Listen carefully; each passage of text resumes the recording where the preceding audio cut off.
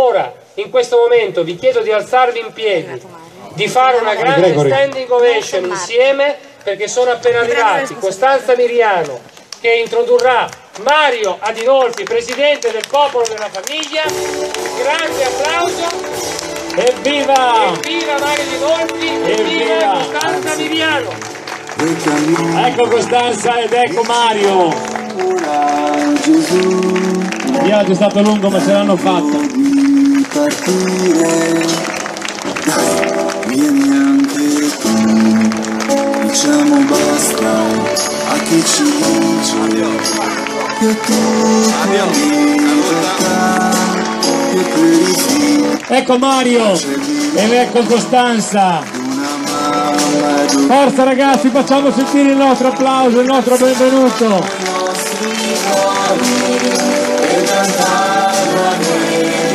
Eccoli qua.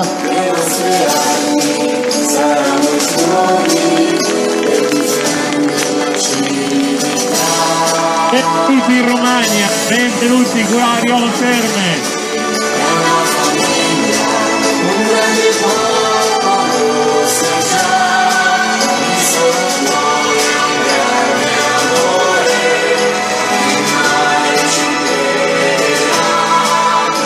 Eccoli.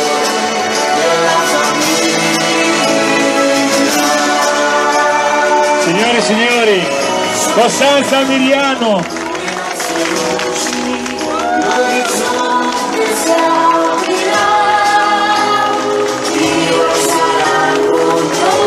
ecco a voi il presidente nonché il direttore Mario Adinolfi.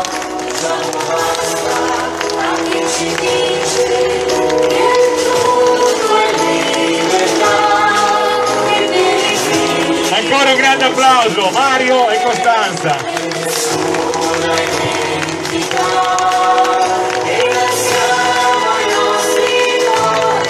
Nostro popolo è qui, Mario. Abbiamo esaurito tutti i posti in piedi a sedere per questa grande sfida. Prego Costanza.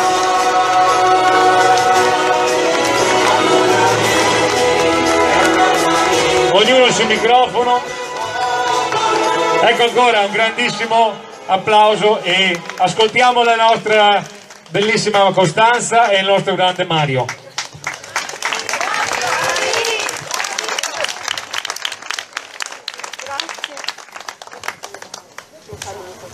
Grazie a tutti, adesso ascoltate qualche minuto di Costanza e poi proveremo a parlare di una cosa che ho visto adesso, me l'hanno dato adesso, eh, per cui cioè, cerco di ricordarmi cosa ho scritto e qualcosa vi racconteremo, ok? Grazie, è un'emozione tipo Family Day, proprio mi ricorda quei giorni, questo clima.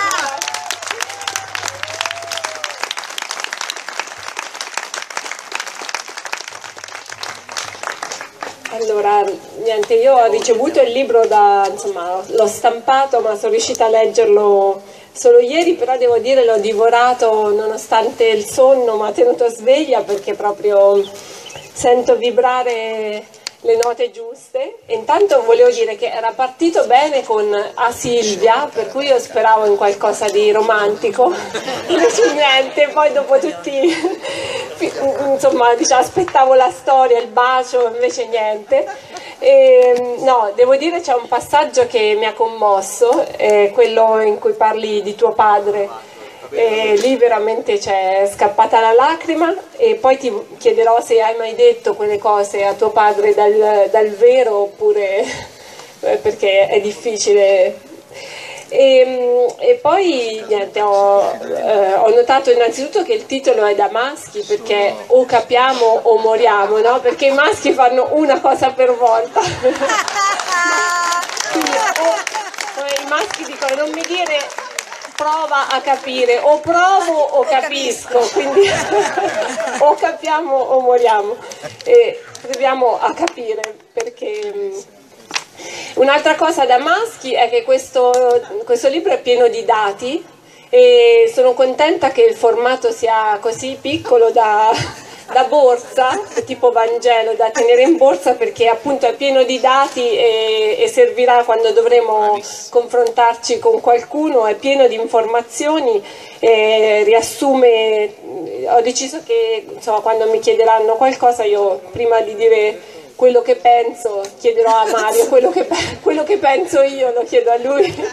È veramente un, un riassunto eh, asciuttissimo, proprio um, utilissimo su tutti i temi fondamentali sui quali saremo chiamati a combattere purtroppo ancora a lungo nonostante la scrittura ottima e quindi eh, insomma anche da un punto di vista letterario però ecco quello che mi ha colpito è la lucidità nella scelta dei dati giusti.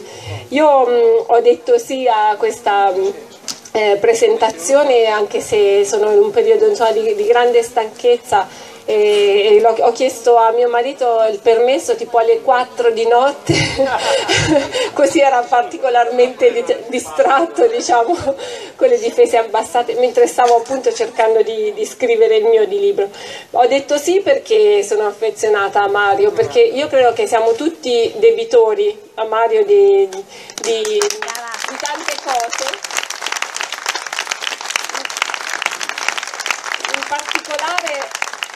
anche se la battaglia finale sulla, sulla Cirinna, in, quella, insomma, in definitivo forse l'abbiamo persa anche se, se siamo, era, siamo, in tanti, ma dobbiamo a lui il fatto di eh, aver scoperto che tra le righe c'era l'apertura per l'utero in affitto, quello, di quello non si era accorto nessuno, è stato lui a mettere a fare un macello tremendo, a mettere la cosa insomma, in primo piano sui giornali e credo che se non ci fosse stato lui la legge sarebbe passata anche con quel famigerato articolo 5 quindi credo che tutti, tutti, noi, ma non solo noi che siamo qui, ma tutta Italia per questo eh, gli debba tantissimo e quindi io mi, mi, sentivo insomma in debito per questo grande lavoro che ha fatto di, di leggere le cose, di accorgersi, di non, eh, insomma, di non lasciarsi sfuggire. Mario è uno che, che legge e che insomma purtroppo non gli sfugge niente. ecco. eh,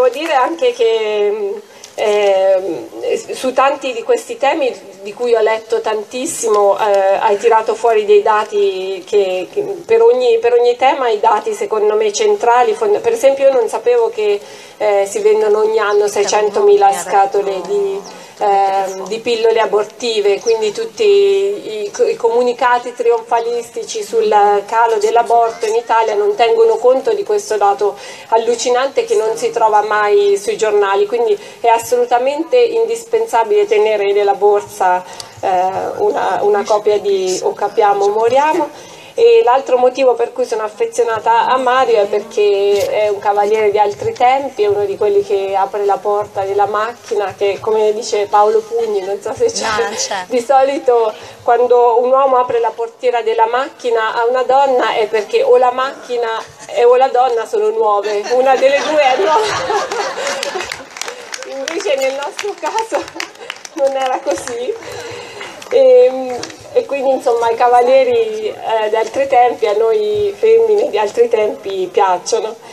E io direi che possiamo cominciare a entrare nel caldo eh, della, no, sempre leggendo dopo a Silvia che mi era un po', dico adesso parlerà anche un po' d'amore, la prima cosa dico mi viene in mente una parola di Socrate a Fedone, mi sono sentita ignorantissima, poi invece ho visto che era Papa Benedetto XVI, no? perché io conosco solo Giovanni Marco Tullio, cui può sì! venire in mente una parola di Socrate, perché a me normalmente mi viene in mente che devo comprare la Nutella, queste cose durante la giornata, non è che mi viene in mente il Fedone, insomma, va bene.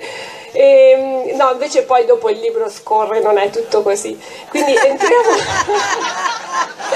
entriamo nel, nel, vivo della, della, questione. Anzi, prima di tutto ti vorrei chiedere chi è il lettore, a chi hai pensato scrivendo questo libro, chi è il lettore tipo? Ma io ti ringrazio intanto Costanzo, un applauso a Costanza Meriano che sacrifica un suo sabato in famiglia per stare invece in questo luogo che poi famiglia è. Io guardo i volti, ormai vi considero davvero tutti carnalmente fratelli e sorelle, siete sempre bellissimi. Alla Pongi devo subito chiedere, ho, ho condiviso, sono riuscito a condividere, noi ormai le dirette fede, abbiamo il popolo la famiglia TV che sta andando in diretta, c'è il coordinatore nazionale Nicola Di Matteo che è arrivato anche lui col pullman degli amici romani, grazie a Nicola per il lavoro enorme che sta facendo sul territorio nazionale. Un grazie speciale, fatemelo dire, eh, a Mirko De Carli, a tutti i ragazzi, i volontari, al popolo e famiglia di Violo Terme, fatemi dire, insomma ragazzi, avete preso il 14,5% con il popolo e la famiglia Nardo in pochissime settimane. Grazie, grazie dal profondo del cuore. Eh, avete dimostrato che si può fare, che non è vero che quello che abbiamo detto in questi 20 mesi è impraticabile si può davvero riuscire a proporre al paese, se il paese è Riolo o l'Italia è, è la stessa cosa, ma si può proporre una dimensione diversa dell'essere, quella famosa frase che cito dal discorso di Lisbona, pone la questione dell'essere. Oddio che roba complicata, non sta nei libri, non va in classifica, tutto vero, ma è la questione decisiva e noi abbiamo deciso di porre attenzione alle questioni decisive. Non vogliamo farci distrarre, non stiamo uh, cercando alleanze, non stiamo cercando imbrogli, inciuci o visibilità. Noi cerchiamo di parlare di questioni decisive, anche se non sono di moda, anche se sono contro la moda corrente. È una necessità e anche una responsabilità che ci assumiamo. E per questo quando immagino il lettore, immagino un lettore che non sappia nulla, che non sappia nulla, che si avvicini a questo libro, non lo so perché si stupisce di trovarlo dopo 36 ore nella top 10 di Amazon in mezzo a, a Giuseppe Cruciani della Zanzara e al Corriere della Sera, Alto Carzullo, dice ma come è successa questa cosa strana? Con un libro autoprodotto che non è stampato da Mondadori, non è stampato da Rizzoli, non da Baldini e Castoldi, non dalla nave di Teseo, che è successo? Perché? Ma perché ci sono centinaia di persone radunate su Prato a Riolo Terme? Ecco, questo libro prova a toccare quel lettore lì.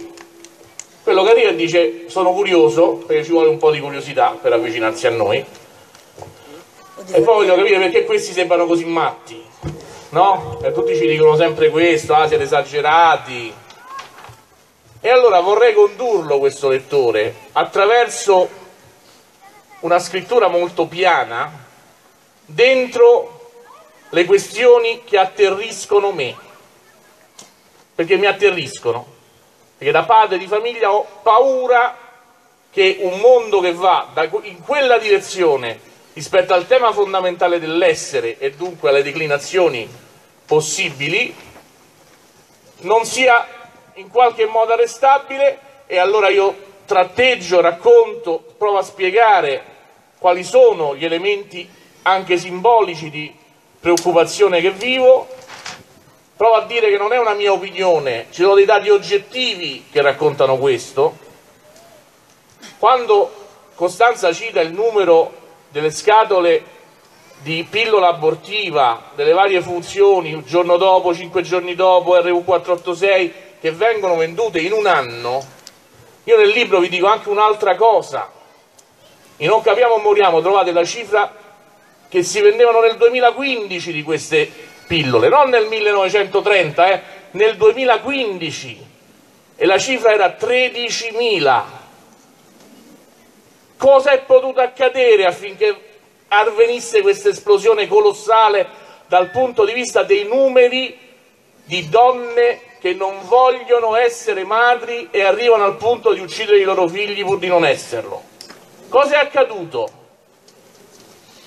È accaduta una piccola cosa che noi non abbiamo saputo né leggere né fronteggiare e che non conosciamo neanche adesso e per questo la metto nel libro. È accaduto che un governo ha autorizzato l'AIFA, che è l'associazione del farmaco, di rendere questi farmaci disponibili via banco senza prescrizione medica. Ecco quello che è accaduto. C'è un atto che dà origine a questi elementi. Quell'atto porta da 13.000 scatole, perché prima dovevi andare dal medico e dire ah, ho avuto il rapporto sessuale, non, magari non lo trovavi subito, ti vergognavi o c'era un motivo comunque di ostacolo, a rimuovere quell'ostacolo, rimuovendolo perché? Per fare del bene alla società? O per fare del male alle persone, al bambino nascituro e alla società per intera? Ecco, io vorrei che questo fatto fosse noto a più persone possibili, che si individuasse l'origine di un elemento pericoloso, se ne guardasse la conseguenza immediata e si provi a porre rimedio. Il popolo della famiglia è l'antidoto possibile a questo veleno. Per questo siamo qui. Questa per esempio è una delle cose che non si leggono sui giornali e che si trovano solo qui, cioè che, che questo passaggio sia causato da un atto del governo e non da un cambiamento di costume così repentino. Insomma. Ehm, l'altra domanda io leggendo, diciamo l'altra domanda preliminare, prima di entrare nel, nel, nelle questioni, leggendo io ho avuto un po' di scoramento, no? perché il, la, le fotografie che fai di questi, di questi, argomenti, aborto, eutanasia, utero in affitto, eccetera, sono un po' sconsolanti. No? La mia sintesi è stata veramente il diavolo è il principe di questo mondo perché sembra spadroneggiare e vincere. Di fronte a questa evidenza del male le, le risposte sono forse diciamo tra noi credenti tendenzialmente due, l'opzione benedetto, no? quella di ritirarsi, di non, non, combattere più ma passare a una testimonianza più nel privato, più silenziosa, la preghiera, la, la parola di Dio, eccetera. Ehm, oppure la scelta del popolo della famiglia, quella di ricreare una presenza vera dei cattolici in politica. Ehm, io sono tra quelli che penso, anche molti di noi, che, che, pensano che si possano fare entrambe le cose, cioè testimoniare la bellezza nel privato te, senza opporsi mai nelle relazioni personali, vivere radicati nella, nella, parola, nella preghiera, quindi avendo una vita spirituale, però anche cercando di costruire una presenza politica eh, quindi cioè, si possono tenere insieme le due cose perché come sappiamo, tanto credo insomma, lo sappiamo tutti prima dei, dei Family Day, non tutti hanno aderito, non tutti i cattolici diciamo, che alle riunioni avevano, erano stati presenti alla preparazione, tanti hanno detto noi non siamo per, per, il combattimento, noi preferiamo testimoniare col vicino di casa, con, semplicemente con la bellezza della nostra vita. Ecco, tu come la vedi questa cosa? Grazie Costanza perché mi dai l'occasione eh, di salutare due amici che hanno fatto 800 km per essere qui, Sabino Sabini e Marco Fasullo che arrivano. Sono contenti perché l'anno scorso eravamo a 850 km da casa loro, abbiamo avvicinato, secondo il navigatore hanno fatto prima, insomma, perché loro sono il simbolo del saper mettere insieme quello che vorremmo saper mettere insieme c'è la testimonianza e l'impegno combattivo. Sabino, Marco hanno fondato il gruppo che di tutti i gruppi è il più numeroso del popolo della famiglia, è il gruppo preghiera. Cioè, il gruppo preghiera non so se Alfano ha il gruppo preghiera, no? Così, a, a naso, cioè. non lo so, mi sa di no, insomma. Non so se a Treyu da una parte c'è il gruppo preghiera oggi, non mi sa di no, giusto? No, vabbè. Allora, eh, noi abbiamo messo insieme questi elementi, ci rendiamo conto che non basta il combattimento, perché saremmo soldati senza armi, non potremmo andare da nessuna parte saremmo privi di efficacia, lo dico con chiarezza e con la, con la concretezza che mi contraddistingue. Noi accompagniamo a un'ispirazione forte e dichiarata una capacità organizzativa che vuole essere sempre più evidente per poter mettere insieme questi due elementi, preghiera e azione, che insieme possono davvero cambiare il contesto in cui viviamo. Può accadere veramente, sta accadendo. Questo è un comune dove per decenni, Mirko, dico bene, ha vinto 70 anni, diciamo, ha dominato una parte sola e anche loro non avevano il gruppo preghiera, diciamo così e ha voglia di presentare simboli no, di partiti e partitelli. C'è voluto il popolo e la famiglia per dire c'è un'altra cosa possibile, anche con il rispetto reciproco dell'amministrazione di sinistra di questa città che salutiamo e ringraziamo, nei loro, loro nei nostri confronti, noi nei, nostri, loro, noi nei loro. C'è una capacità di costruire, se costruisci testimonianza, che però è anche impegno combattivo, se costruisci preghiera che però sa anche essere azione, c'è la possibilità di costruire una riflessione. E non capiamo o moriamo, ho provato a spiegarlo con estrema nettezza questo.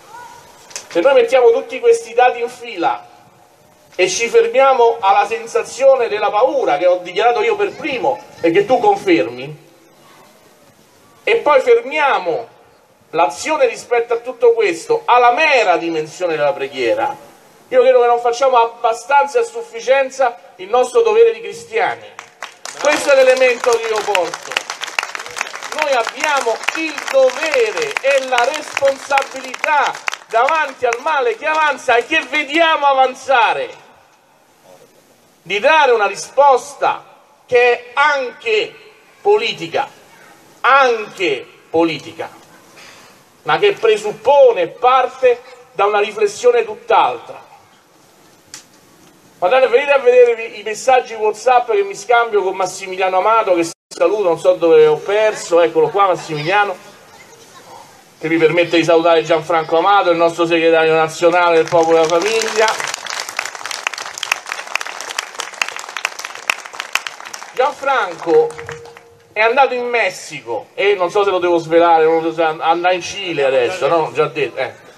Perché viene visto come un simbolo di una preghiera che a livello mondiale si fa azione e risposta concreta, chiedono al segretario nazionale del popolo e della famiglia come si fa? Noi questo siamo, come si fa? Proviamo a spiegare ai tanti nostri amici che ci dicono no, bisogna andare con i soliti politici, noi diciamo si può fare e forse si fa davvero solo se partiamo A da una grande consapevolezza del male che avanza e da una lettura concreta di questo male che avanza, B da una capacità di riflessione, di meditazione e di preghiera che rafforzi la nostra volontà e il nostro convincimento e poi da una capacità di stare in battaglia per far vincere i nostri principi e i nostri valori. Bravo Mario!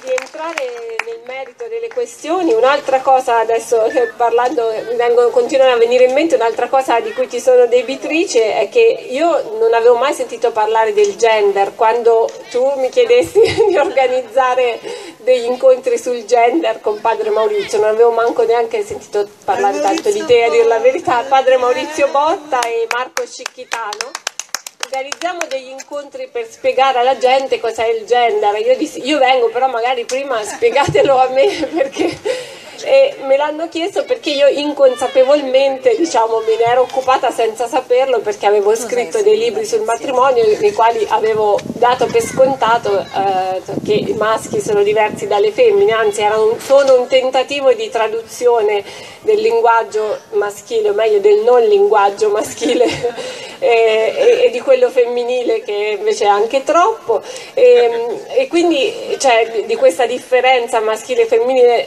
avevo parlato insomma, come se fosse ovvia e scontata e solo grazie a Mario e a questi incontri che abbiamo cominciato a fare nelle parrocchie diciamo un po' di periferia eh, ho capito che, che, invece questi dati di fatto ovvi e scontati erano messi in discussione, quindi ho scoperto tutto un mondo. Qui penso che siamo tutti invece più avanti di come ero io qualche anno fa, però magari se ci vuoi ricordare quali sono i cinque comandamenti dell'ideologia gender. Grazie Costanza perché questo è un elemento che quattro anni fa, quando noi cominciamo, oggi ci siamo ricordati in macchina che il primo appuntamento appunto con Padre Botta, Scicchitano, Miriana Adinolfi in un teatro di Roma è di quattro anni fa e allora sembrava veramente un tema esotico. Signori, il 7 di ottobre del 2017, cioè tra 15 giorni, la sede del Consiglio regionale della Toscana ospita, per iniziativa di un consigliere regionale pediatra, un convegno che si intitola Bambini in rosa per teorizzare la presenza e la cura necessaria per bambini che vanno dai 2 ai 4 anni considerati transgender. Il percorso che ha la strada che è accaduto, cioè tutto quello che è avvenuto in questi quattro anni è che ora la strumentalizzazione è diventata talmente violenta che ha afferrato i nostri bambini perché loro hanno dei comandamenti sono dei comandamenti li ho messi in o capiamo o moriamo che negano è maestra Costanza nel descrivere con leggerezza questo elemento, ma la volontà è di negare la distinzione tra il maschile e il femminile. E noi in quegli anni ci chiedevamo ma perché investono così tanto nella negazione della distinzione evidente che c'è ed è incontestabile tra maschile e femminile? Perché? Perché al fondo bisogna negare la distinzione tra il padre e la madre. È questo l'elemento di cui hanno bisogno scientificamente per poter approdare a una teoria della omogenitorialità che è scandalosamente violenta nei confronti dei più deboli del mondo, cioè i bambini. È questo l'elemento su cui noi ci siamo alzati in piedi secondo l'insegnamento di San Giovanni Paolo II e abbiamo detto da qui non si passa. E lo abbiamo detto in tutte le maniere possibili e lo abbiamo detto a questo consigliere regionale pediatra che ieri mi ha minacciato di querela. E io gli ho risposto in romano magari c'è casca, ma magari c'è casca. Perché voglio andare fino in tribunale a discutere con una persona del genere sia legittimo e pensabile che si diano a minori di 12 anni. I farmaci che si chiamano ipotalamici bloccanti di cui non sentite mai parlare, ma troverete raccontati in questo libro, che servono a bloccare in un bambino di 9 anni la transizione puberale. Servono a dare a costo di 2000 euro a fiala estrogeni a bambini di 11 anni. Adinolfi agita le paure, gli spauracchi, io sono australiano, come sapete, per metà. Porto il passaporto australiano in tasca. A Sydney, nel più importante programma si chiama 60 Minutes, il 6 settembre scorso, è andata in onda l'intervista a un bambino, bambino, di 14 anni, che ha detto sì, io pensavo di essere bambina, mi sono fatto dare ho chiesto che mi venissero dati i bloccanti, ho chiesto che mi venissero dati gli estrogeni. Io adesso ho 14 anni, io so di essere un maschio. E non posso andare in giro perché ho, ho il seno, non posso andare un, a giocare con i miei amici perché mi prendono in giro, non posso andare al mare. E devo andare a cercare una nazione che consenta la mastectomia demolitiva su un bambino di 14 anni che non esiste al mondo, ha dovuto andare in Corea del Sud perché forse solo lì lo operano. Signori, ma pensate che cosa state facendo ai vostri figli? E se noi alziamo la voce su questo elemento, noi siamo omofobi. Siete voi che siete violenti a un punto che neanche riconoscete l'elemento della vostra violenza un bambino sempre, sempre nell'esperienza mia, delle mie figlie, ha un elemento di momento di curiosità nei confronti della sessualità opposta. si può declinare in mille maniere, può finire con, con, con Mario che gioca con le Barbie, possono accadere tante cose. Mia figlia gioca a calcio a sette anni, molto gender come scelta, non è piaciuta questa cosa. Ma alla fine, nella totalità dei casi vorrei dire, questi elementi si riallineano, si riallineano. Guardate, non stiamo parlando neanche di omosessualità, non stiamo contestando la scelta di avere rapporti con persone dello stesso sesso. Qui stiamo parlando, dicendo semplicemente che un'ideologia violenta che nega alla radice la distinzione tra maschile e femminile, teorizza la possibilità di transizione, assalta le scuole e i media con questa ideologia e poi ora può arrivare a mettere le mani sui bambini con i farmaci, con questa violenza con le cliniche già costruite in Olanda, già attive in mezzo mondo per fare queste porcherie, tutta questa roba deve essere negata per legge. E se il popolo della famiglia andrà al governo di questo paese in qualche modo, come primo atto preliminare all'adesione a qualsiasi forma di maggioranza dirà si vara un decreto legge perché la Costituzione fa varare i decreti legge in caso di necessità ed urgenza per vietare qualsiasi pratica di questo genere nei confronti dei minorenni e questo è un nostro giuramento, è un nostro giuramento. Questo significa quel simbolo, lo vedete, lo sventola, un'amica, dentro quel simbolo abbiamo scritto no gender nelle scuole. Lo sai Costanza, quando presentammo quel, quel simbolo l'Arcichei disse che il Ministero dell'Interno doveva vietarci la presentazione alle elezioni perché quella scritta era evidentemente contro la legge Mancino e discriminante nei confronti degli omosessuali. Noi orgogliosamente quella bandiera continuiamo a sventolarla.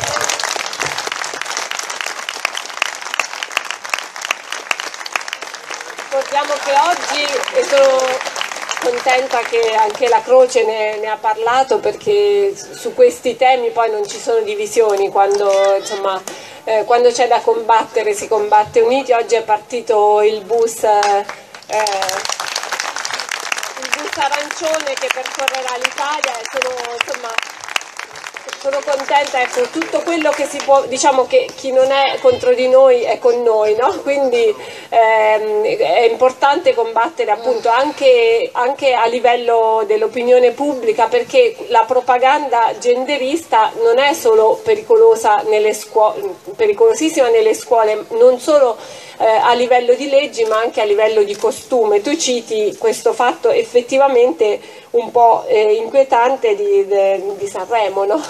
Sono, cioè, è, è forse una coincidenza, ma forse anche no, che sono andati sul palco nel 2015 con Cita Wurst, nel 2016 Elton John e Nicole Kidman e, quest'anno Ricky Martin e Tiziano Ferro, cioè tutti fruitori del, dell'utero in affitto. Secondo te eh, come si spiega questa cosa?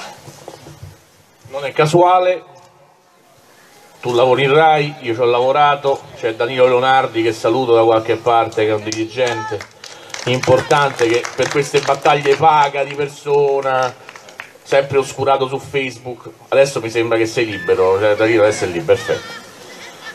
E allora lo diciamo con chiarezza, non sono cose casuali, vengono scelte, cioè conosciamo la RAI, almeno noi che ci abbiamo lavorato ci lavoriamo, non esci sul palco di Sanremo 1, 2, 3, 8, 12, 15 cantanti tutti con l'accetta al cobaleno, perché sarebbe un dirigente RAI che se uscisse uno col simbolo che porta Guido Mastrobuono, il cappellino, il simbolo della famiglia, del popolo della famiglia, vedete, immediatamente escluso dalla gara a Sanremo.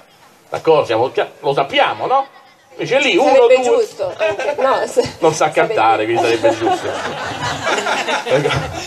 Ora, il tema fondamentale è che ciò, tutto quello che sta avvenendo non è casuale, è organizzato da regie precise, presenti nelle casematte dell'informazione e della comunicazione, evidentissima in RAI, a RAI 3 hanno propugnato per non so quante puntate una cosa si chiama Stato civile per esaltare le unioni, le gay, prima serata, anche il giorno di Natale, cioè proprio senza, senza alcuna, alcun rispetto per la famiglia naturale.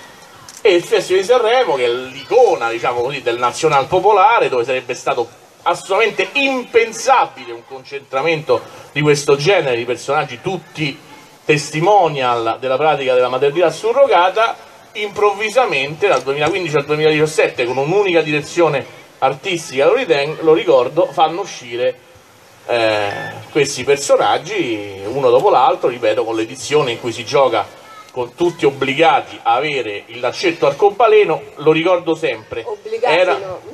di fatto obbligati perché c'è un obbligo cioè, eh, lo- quando un meccanismo è indotto anche se io non te lo vengo a mettere di forza è chiaro che lo costruisco quel meccanismo per cui poi alla fine ti trovi a uscire con quella cosa lì tant'è che quelli che resistono è stato un solo gruppo in quell'edizione. Furono gli Stadio e per inciso vinsero Sanremo.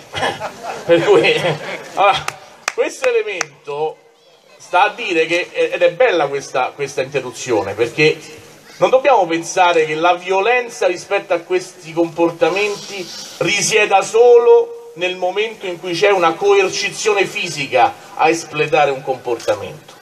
La violenza è di tipo orwelliano, c'è un grande fratello che può costruire le condizioni per cui tu sei sfigato a scuola se provi a dire che leggi un libro di Costanza Miriano. E quell'elemento non ha nulla di coercitivo, non sono vietati i tuoi libri, ma il comportamento costruisce il contesto. Allora noi dobbiamo essere molto attenti su questo e sapere che esistono delle regie visibili, io parlo sempre di lobby e nessuno mi, toglie dalla testa, e ma lo, lo hanno detto in moltissimi, anche contestandomi, c'è un'intervista a Imma Battaglia che è una leader del mondo LGBT a Roma, che ha detto sì, ma noi ci diamo una mano, siamo una rete e, noi- e io difendo il fatto che tra noi ci sosteniamo per i vari bisogni come una rete deve fare, insomma. È così, accade, per loro noi siamo l'assoluto nemico, non c'è altro, siamo solo noi, basta leggere un bellissimo blog che si chiama Gayburg, avete presente, no? Ognuno di voi chissà che ci è finito sopra in qualche maniera, e dove lo- l'ossessione è per il popolo che è radurato qua. Anche noi siamo gli unici a pensarla così, però pare che una particolare attenzione sia ris- riservata a noi. Io penso anche mm, in modo un po' più ottimistico che mm, magari non sempre c'è una regia ma c'è una- anche una moda. E tante volte perché, mm, perché certe cose vengono raccontate, tutta la battaglia è stata raccontata come già la scelta del nome, la battaglia per i diritti civili, noi sappiamo che tutti i diritti delle coppie conviventi erano già garantiti prima della legge Cirinà, diritti civili fa risuonare a tutti noi Rosa Parks che, eh, che stata, che, che non poteva sedersi in autobus, fa, eh, fa risuonare altre battaglie, quelle sì eh, di diritti civili no? e quindi secondo me è come viene anche raccontata noi siamo qui per, eh, per spezzare questo, questo incantesimo, cioè raccontare eh, la verità in un modo che non viene sempre, non viene mai praticamente suggerito. Ecco, un'altra cosa su cui proprio eh, sulla, la, la storia della nascita della legge sull'aborto è nata proprio da una bugia, da una battaglia propagandistica, prima di tutto negli Stati Uniti c'è la storia falsa di uno stupro, eh, per cui secondo me tanta gente va dietro, non, non tutta perché diciamo aderente alla lobby, ma semplicemente perché le cose gli vengono raccontate male. Ecco. Sull'aborto anche in Italia per esempio è stata diciamo, funzionale la storia della diossina di Seveso, quindi eh, da, eh, da rimedio estremo, che poi noi non siamo d'accordo nessuno di noi, però da rimedio estremo per situazioni estreme è diventata praticamente una pratica eh, contraccettiva. E qual è adesso lo stato della situazione? Sono migliorate le cose? Abbiamo detto di no, evidentemente. Sull'aborto dobbiamo stare molto attenti e purtroppo le difese non sono sollevate, perché ci vendono questo dato di 10.000 aborti in meno nell'ultimo anno, non lo parametrano mai al fatto che la natalità si è abbattuta a livelli bassissimi, che è il primo elemento di preoccupazione. In Italia non si fanno più figli Le donne italiane fanno 1,25, eh, eh, 1,27 figli per donna. È una percentuale, è un dato, un tasso bassissimo, non consente il ricambio. Abbiamo peraltro dei picchi di mortalità curiosi. Il 2017, troverete nel libro i dati del 2017, cioè le proiezioni rispetto al primo trimestre, e avremo un altro record colossale e incomprensibile di morti, oltre 700.000, 707.000 dice Istat. E davanti a questa tragedia, perché io la considero una tragedia, se il saldo tra 461.000 nati e 707.000 no morti, all'interno dei 461.000 nati la percentuale di stranieri è altissima, l'8% delle donne straniere fa il 25% dei figli. E non li sta leggendo i numeri, eh? Io non lo so come fai. Non ho un ghostwriter, l'ho scritto io il libro, giuro. il, il dato che deve allarmarci è dunque che gli italiani fanno meno di 400.000 figli. Muoiono in 707.000, quelli sono quasi totalmente italiani perché no? Gli anziani sono i nostri. Vuol dire che il saldo fa perdere 300.000 cittadini italiani al, in un solo anno, che non devo dirvelo, è quasi la popolazione della città di Bologna. Noi abbiamo perso Bologna in un anno. Dentro questo schema ci mettiamo pure 90.000 aborti su meno di 400.000 nati e in più inseriamo la cultura della, del terrore della maternità che è raccontato dai dati delle scatole di varie pillole abortive che vengono consumate insieme alla liberalizzazione stessa. E voi sapete benissimo che se volete prendere una tachipirina dovete avere la prescrizione medica se dovete andare a prendere la pillola 5 giorni dopo invece si va al banco. È una follia. Questo è un problema culturale enorme chi ha alzato la voce chi ha detto mezza parola quando l'AIFA nel 2015 su autorizzazione del governo ha fatto questo atto? Qualcuno di noi se n'è accorto? Purtroppo nel 2015 non c'era il popolo della famiglia. Noi ce ne saremmo accorti. E ora dobbiamo stare molto attenti a descrivere questi fenomeni, perché il fenomeno dell'aborto sta diventando progressivamente nella cultura europea che te lo vuole imporre cancellando per esempio il diritto di obiezione di coscienza dei medici. Io vengo da una regione dove è stato varato un bando surreale dal punto di vista costituzionale, in cui potevano essere assunti solo medici disposti a compiere l'interruzione di gravidanza, mentre nei confronti di un medico cattolico obiettore c'era una fatua. Ma è tollerabile una cosa del genere? È impensabile! E allora noi dobbiamo avere chiaro che questo sta avvenendo. Se avviene questo, il passo successivo qual è Costanza? Che l'Europa che detta questo tipo di direttive si orienterà sempre più verso quelle politiche che io descrivo nel libro, della Francia, della Danimarca, dell'Islanda, che hanno deciso, ad esempio, la soppressione sistematica dei concepiti affetti da trisomia 21 e non solo, vi metto l'elenco di tutte le malattie che vengono segnalate. Quando uno Stato, un governo, un'entità sovranazionale con il potere riesce a costruire le condizioni per cui in Islanda nascano solo due bimbi down, in Danimarca 38, di cui 36 per volontà del Signore, perché per un errore o per mancata amniocentesi e 1800 vengono abortiti, quando si decide di prendere, selezionare un segmento di popolazione e abbatterlo sistematicamente, lo possiamo definire nazismo o no? È eugenetica di stampo neonazista. Il popolo della famiglia si sta opponendo a questa deriva Permettimi Costanza, quando scrissi Voglio la mamma, c'erano in quel libro un po' di idee sulle cose che sarebbero accadute o potevano accadere.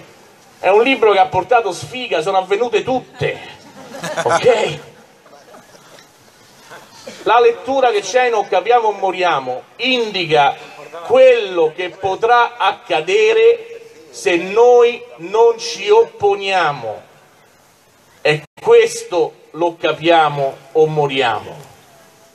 Non è una teoria, una fanfaluca, un allarme, succederà fra 200 anni, accade adesso, sta accadendo. Se arriveremo alla prossima legislatura con questa qualità delle classi dirigenti, è molto probabile che l'incapacità di risolvere questioni strutturali di questo Paese, il danno che c'è sul fronte del lavoro, il danno che c'è sul fronte del debito pubblico, il danno che c'è nei confronti della scuola in questo Paese, la, la, la, la, colossale difficoltà che vivono i nostri anziani, poiché non sanno risolvere tutto questo, si metteranno la medaglietta e diranno ma io ho approvato la legge sull'eutanasia, ma io l'ho approvato la legge sul matrimonio egualitario, Avete mai provato a vedere i nostri politici di governo quando vanno adesso in televisione a descrivere l'attività della loro legislatura? Sapete cosa è successo in questa legislatura? Cinque anni? È successo, io sono uscito dal Parlamento nel 2013 e non mi sono ricandidato anche per la convinzione di aver fallito, perché mi sembrava di aver lasciato al Paese le condizioni più tragiche possibili uscivamo dal governo Monti, c'era stato il casino sugli esodati, mi sembrava di far parte di una classe dirigente totalmente imbelle. Lasciavamo il 10,5% di disoccupazione, il 30% di disoccupazione giovanile, 1979 miliardi di debito pubblico, 3 milioni e mezzo di poveri italiani in condizioni di povertà. Ho detto abbiamo lasciato un disastro.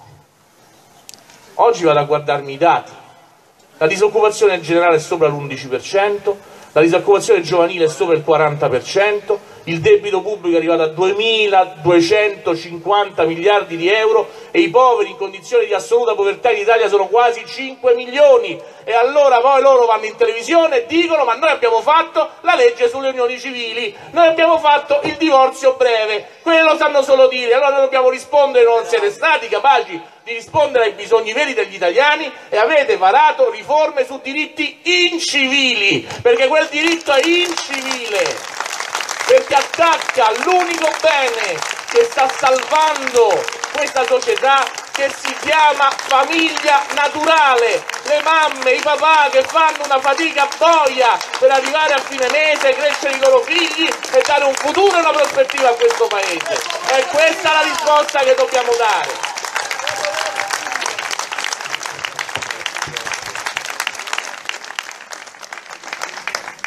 Che poi una madre, cioè non è che le donne in Islanda vengano costrette ovviamente ad abortire, però vengono talmente spaventate su quello che può essere la vita di un bambino non perfettamente sano che cioè, è difficile nel, nel, nel, clima culturale in cui siamo immersi, è difficile che una donna da sola, se non è aiutata, supportata, incoraggiata, ma anzi se dicono vedrai che vita terribile avrà tuo figlio, magari non, non, non tutti sono hanno il coraggio di opporsi, insomma.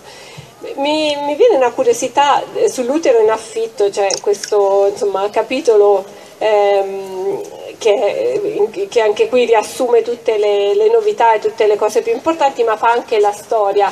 Ma mi è venuta la curiosità, io la prima volta che ho sentito parlare del tema è stata da te ma come è nata questa, cioè come, hai scoperto questa cosa che comunque viene sempre anche questa raccontata, dipinta come gesti di grande generosità, ma che bello il bambino, qualche, qualche bambino per esempio tifoso di, di Ronaldo racconta no, questa questa paternità in modo tutto infiocchettato e colorato, invece la verità di quello che succede, gli ormoni, le operazioni, i soldi, lo sentite dire solo da te. Come ti è venuto di occuparti di questo, che non è un tema molto da uomo, diciamo? Sarà il mio lato femminile, cara. il... La verità è che essere padre di femmine che questa è la, la disgrazia, io ho fatto una fotografia l'altro giorno, festeggiavamo il mio compleanno e mi accorgevo intorno a me solo femmine, niente, non c'è proprio... E, e ti porta a avere un istinto immediatamente protettivo e lo scrivo anche nel libro. Il mio terrore è il terrore per le mie figlie. se dovessero vivere in una società in, che, in cui non ho fatto tutto il possibile per salvarle dalla discesa agli inferi, mi sentirei pesantemente responsabile. E la, la vicenda dell'utero in affitto è la fotografia della discesa agli inferi e non la conosce nessuno. Io racconto in Non capiamo o moriamo l'origine, come funziona la storia dell'utero in affitto, come è cominciata racconto il caso giudiziario, adesso non ve la voglio fare lunga, ma leggendo le storie ab origine, fin dall'inizio, vedete sempre storie di immenso dolore, dolore, ed è inevitabile che sia così. E io lo dico ai nostri amici omosessuali che ci raccontano e hanno detto, è citata Costanza Miano nel libro proprio rispetto alla famosa intervista alla 7 in cui i due signori osarono dire a Costanza Vignano che chiedeva dov'è la madre, la madre non esiste, è un concetto antropologico. È diventato a casa nostra un topos letterario ormai tipo vai a lavare i denti, no, i denti non esistono, sono un concetto antropologico, ormai è proprio... Oppure anche mi chiede, a concetto antropologico, dammi l'acqua. Ora, lo hanno detto seriamente, io li guardavo, no? ero lì in diretta, guardavo, dico adesso, cioè, vidono e dico vabbè, la battuta, con sta, cioè, adesso sta, cioè No, no, lo dicevano seriamente. Cioè, queste persone pensano.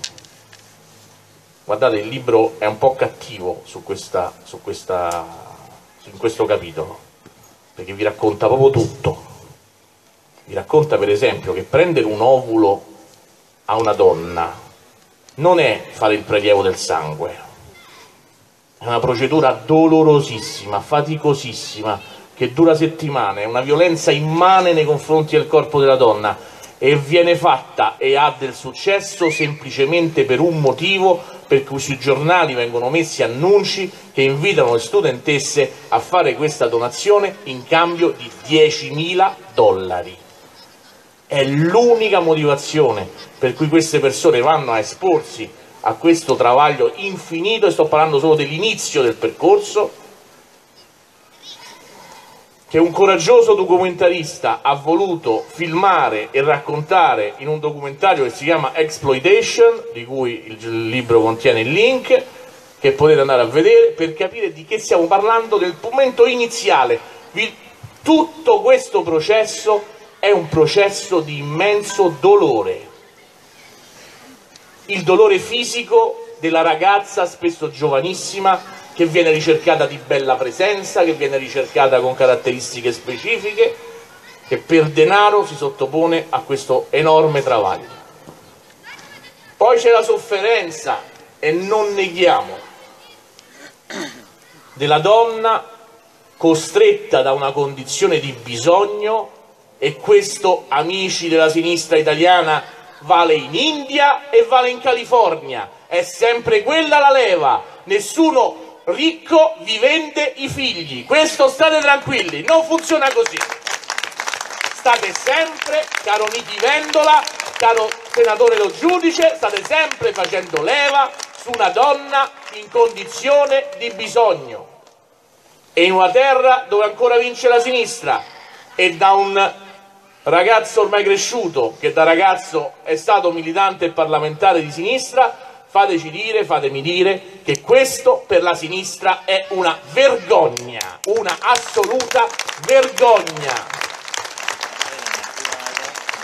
Perché è totalmente contrario persino alle flebili ragioni che in questo momento sono portate avanti da quel raggruppamento politico. Fai leva su una condizione di bisogno di una donna che si impianterà questo ovulo fecondato, ovviamente sempre ricordatevelo la donatrice e il suo patrimonio genetico devono essere distinte dalla donna portatrice e dalla donna gestante perché il bambino, punto ultimo del dolore e della violenza, non deve poter mai riconoscere chi è la madre. Per altrimenti sarebbe molto più facile invece fare tutta questa tarantella dolorosissima e costosissima. Prendi l'ovulo di quella che sta lì, la, la, la, la ingravi di quella e risolvi. Invece no, che fai tutta questa cosa. La donna firma un contratto, ricordiamocelo sempre, in cui gli acquirenti diventano dominatori del suo corpo, possono decidere loro se la donna deve abortire. Altro elemento che io trovo folle, inconcepibile, ma in ogni contratto è prevista una clausola che obbliga la donna ad abortire su indicazione degli acquirenti. Spesso inevitabilmente si costruisce un'empatia, inevitabile, la natura ragazzi, non si toglie questa cosa, tra il nascituro e poi il neonato e la donna che lo partorisce, il momento della rottura di questo rapporto è un momento infinitamente doloroso che ho già raccontato in Voglio la mamma, il grido era lì, voglio la mamma. Quel bambino cresce è in una condizione di dolore inevitabile, che l'assenza della madre, signori, passeggiamo per Riolo, se mi presentate un bambino che non ha la mamma, penserò che ha avuto la peggiore disgrazie, no? Qui lo stiamo costruendo a tavolino, un tipo di una condizione del genere. Perché? Perché dei ricchi hanno bisogno di far leva sulla condizione di povertà di una donna della working class americana, perché adesso no, ci spiegano che in California è tutto bellissimo, vanno lì da una donna della working class americana impoverita che vende loro i figli, pensano di fare tutto questo con la gioia di questa donna, manco per niente, poi se la trovano alle elezioni che vota Trump e si chiedono perché. Esatto. Allora, questa è, è la incapacità di lettura dei fenomeni che un certo mondo sociologico, giornalistico e politico ha ormai nelle proprie condizioni, nella propria vita. Io ho una speranza, Costanza, lo dico con franchezza. È una frase che suona antipatica, ma nel libro l'ho messa. Alla fine, chi chiarirà tutto saranno questi ragazzi. Questi ragazzi cresceranno e chiederanno conto e diranno con quale diritto mi hai privato tu di mia madre glielo diranno, glielo chiederanno, gli aiuteremo a chiederlo.